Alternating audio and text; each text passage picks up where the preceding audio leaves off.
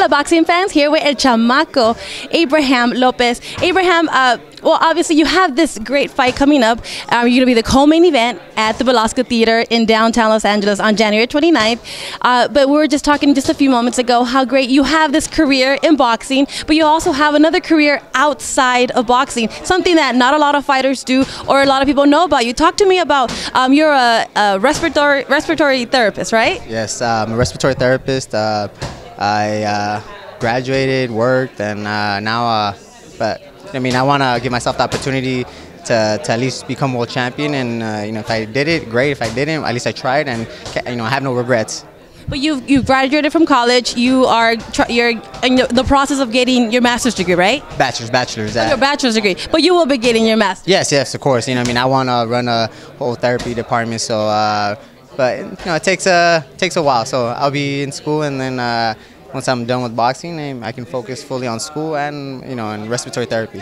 What's the mentality behind you know a lot of fight a lot of uh, people and fighters believe that all boxers are are are millionaires. They're all Mayweathers. They're all you know uh, top there. You know you could buy any car you want, any house. What's the mentality behind having uh, the boxing career and the medical career?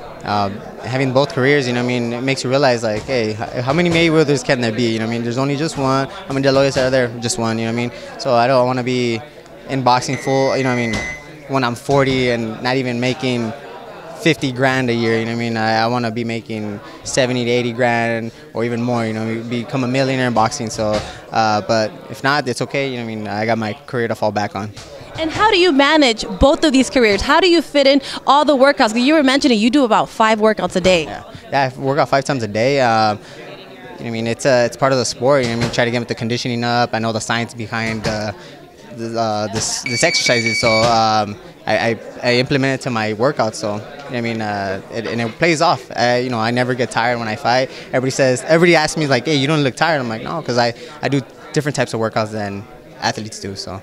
You guys, you guys don't know, but he just finished working now about one minute ago, and he he's not trying to catch his breath at all. I'm probably more tired than you are. I need to be at that condition level, seriously.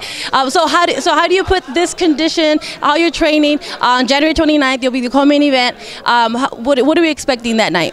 Oh, you're gonna see an Abraham Lopez, uh, a strong, a smart, all around. Uh, a multi-dimensional fighter. You know, what I mean, if that guy is coming at me, then I'm gonna box him. If that guy is running away from me, then I'm gonna be the aggressor. So uh, whatever it takes to get that W.